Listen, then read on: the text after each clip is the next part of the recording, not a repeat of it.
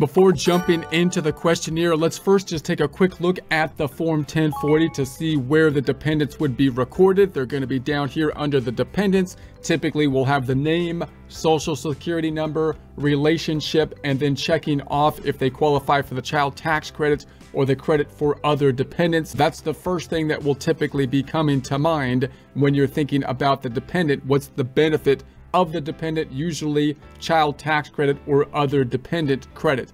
But there could also be an impact on a change to the filing status, possibly moving someone up from single to head of household. If I go to page two, there could possibly be a change in the tax tables being used if there was a change to filing status, such as single to head of household, but mainly we're talking here line 19, the child tax credit or credit for other dependents. Now, normally it's pretty straightforward to see whether someone is going to be qualifying uh, as a child because if it's a young child, then obviously you would think that they would be a dependent fairly straightforward. But you can imagine situations where there's going to be gray area, a lot of situations, in which case you might want to go through the formal questionnaire. Now, as we think of the formal questionnaire, we usually think first in terms of a qualifying child and does the child then qualify for the child uh, tax credit because that is going to be usually the most beneficial uh, component. And then if they don't qualify for the child tax credit, do they qualify for the other uh, dependents? So then that's going to be the format of the questionnaire. So let's jump on over to the questionnaire here, and you can see the general kind of questions will be one, uh, do you have a qualifying child? We're going to go through those basically questions. Step two, is your qualifying child is is your qualifying child your dependent? On question number two. And then question number three, or step three, does your qualifying child qualify you for the child tax credit or credit for other dependents?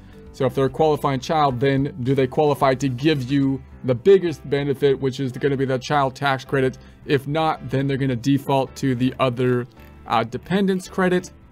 Four, is your qual is your qualifying relative your dependent? So now we're moving from qualifying child to a qualifying uh, relative and asking if they're a dependent, basically forfeiting the whole concept of getting the child tax credit, basically moving to see whether we qualify for the other dependent credit. Step five, does your qualifying relative qualify you for the credit for other dependents?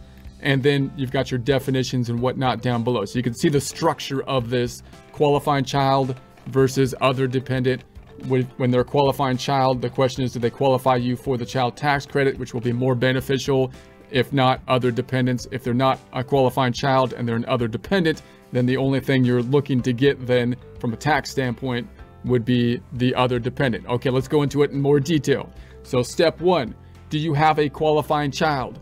So a qualifying child is a child who is your son, daughter, stepchild, foster child, brother, sister, stepbrother, stepsister, half brother, half sister, or descendant of any of them, for example, your grandchild, niece, or nephew. So it's kind of like a relationship test, quite broad there. And under age 19 at the end of 2022 and younger than you.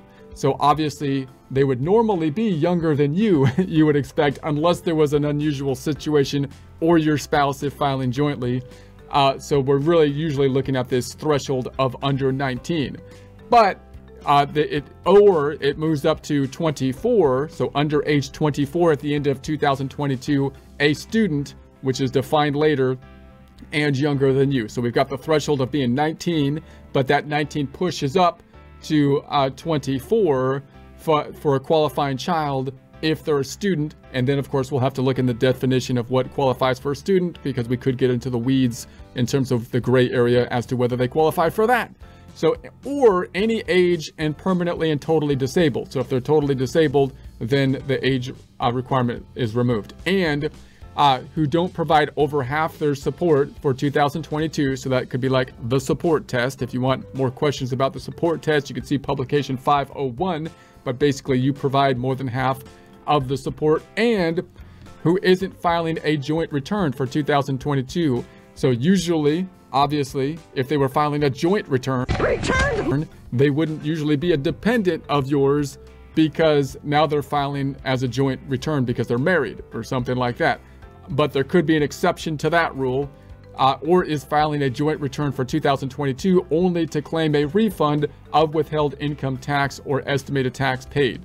So if you have that exception, you can take a look at publication 501 for that. So again, general age rule 19 pushes up to 24. If they're a student, that's the age uh, test. And then do you provide the support test in essence? Uh, you provide over half the support for 2022 and then the filing uh, test do you know they don't file a joint return if they file a joint return normally that would be uh, non you know then they'd be fine married filing joint and who lived with you for more than half of 2022 so if the child didn't live with you for the required time you can see exceptions to time to lived with you. So now they lived with you for more than half of 2022 so you've got the support test and uh, the lived with you test here. And the exceptions could include things like, well, what would happen if they were uh, at a, a, medical area or getting treatment or something like that? Does that account for them living with me for more than half of 2022? Caution, if the child meets the conditions to be a qualifying child of any other person other than your spouse if filing jointly, uh, for 2022 see qualifying child of more than one person later. You can imagine situations where you have a joint custody situation where it's like, okay, now this child actually qualifies for two individuals here.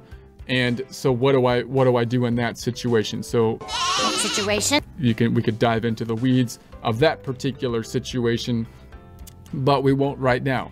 So do you have a child who meets the conditions uh, to be your qualifying child? So given those questionnaires, if the answer is yes, then we go to step two. If no, then we go to step four. So if yes, then we want to move forward and say, do we qualify now for the qualified child tax credit or for the other dependent credit for the qualifying child? If they don't qualify then, and I say no here, then we're going to say, do they qualify for an other dependent, possibly getting the lower credit in that case. Step two, is your qualifying child your dependent? So one, was the child a U.S. citizen, U.S. national, U.S. resident alien, or resident of Canada or Mexico? If there's questions on that, you can see publication 519. So the definition of a U.S. national or U.S. resident alien. Uh, if the child was adopted, see exception to the citizen test later. If yes, then we continue. If no, you can't claim the child as a dependent. So we'll assume yes. Was the child married? So uh, yeah, uh, if yes, see married person later. If no, then we're going to continue. Typically, we would assume they weren't married because if they were married, then they wouldn't be a dependent because they would be filing a married filing joint return, we would assume normally. So could you or your spouse if filing jointly be claimed as a dependent on someone else's 2022 return?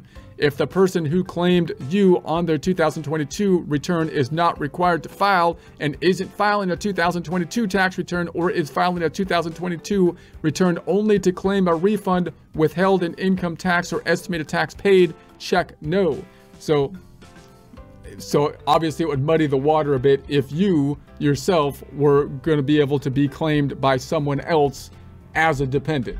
So because you would think that if someone is a dependent of yours, then normally you wouldn't be a dependent of someone else, right? So that would again be another kind of somewhat more unusual type of situation, although obviously that would could ha will happen in, in life a, a lot. So if yes, stop. You cl can't claim any dependents complete the rest to Form 1040. If no, so you can claim this child as a dependent, meaning you can't be claimed as anyone else as a dependent, so then you're here. Complete columns 1 through 3 of the dependent section on page 1 of Form 1040 or 1040 SR for this child, then go to step 3.